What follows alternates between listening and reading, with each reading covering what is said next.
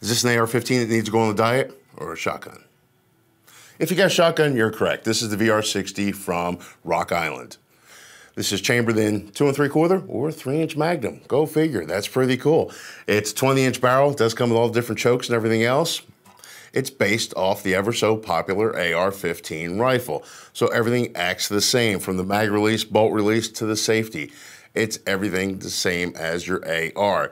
It comes with a polymer handguard, buttstock, grip. That's just keeping the weight down. This thing weighs just over seven pounds. Again, five round magazines, one in the chamber. You got six rounds total. I already told you it's a three inch Magnum. You can't go wrong with this.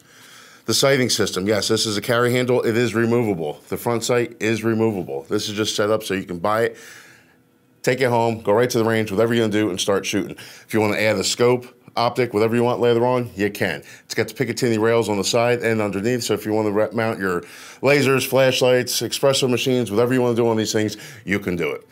Honestly, it's a pretty cool gun for under 500 bucks. You can't go wrong.